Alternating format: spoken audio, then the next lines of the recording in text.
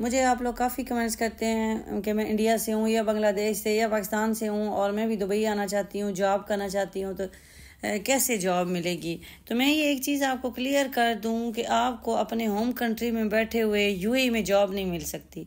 क्योंकि यूएई में इतने लोग हैं अवेलेबल कि जो भी जिसने उनको काम पे लगाना है या जॉब देनी है तो वो ये नहीं हो सकता कि यहाँ जो अवेलेबल हैं उनको वो छोड़ दें या उनको वो प्रेफर ना करें और आपको वहाँ बैठे हुए वीज़ा दे दें। हो सकता है किसी की लॉटरी निकल आई हो, आप कहते हैं कि जी मेरे फ़लाँ रिलेटिव को या फ़लाँ जानने वाले को इस तरह जॉब मिली है। लेकिन वो बड़ी मुश्किल से मिलती है। उसके चांस आप कह लें तो फाइव परसेंट होते हैं हंड्रेड में से।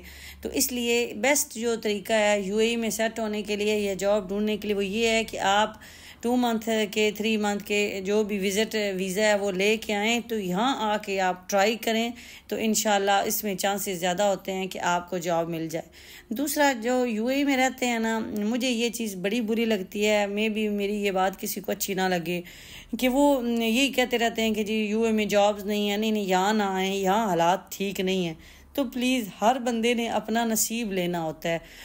आज तक आप रमज़ान का महीना है, मेरी बात पे यकीन नहीं करेंगे। हमने कभी नहीं किसी को कहा कि आप यूएई में ना आए, यूएई में जॉब्स नहीं हैं। इवन कि कोविड में भी मेरे पास आके कुछ ऐसे लोग रहे हैं।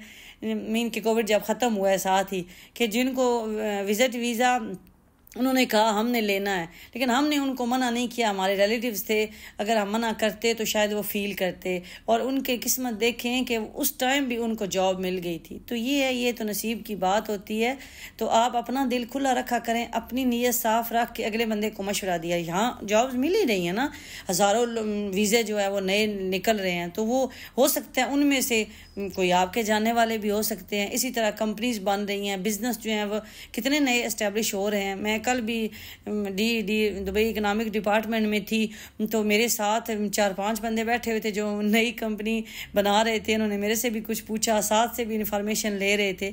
तो अगर कोई बिज़नेस करना चाहता है तो उसके लिए भी अच्छा है। तो बस हम ये कहते रहते, नहीं जी, यहाँ हालात नहीं ठीक। नहीं यहाँ ना आए, यहाँ जॉब नहीं मिलती। तो प्लीज़ ऐसे हम किसी को मायूस ना किया करें। ये इफ़ार टाइम की वीडियो है जी। बच्चे और मैं इफ़ारी करने लगे हैं। तो आप लोगों ने आज इफ्तारी में क्या बनाया, मुझे ज़रूर बताएँ। तो आ जाएँ, मेरे साथ भी ज्वाइन कर लें। मुझे मटर पुलाव के साथ आजकल पकौड़े बड़े अच्छे लग रहे हैं।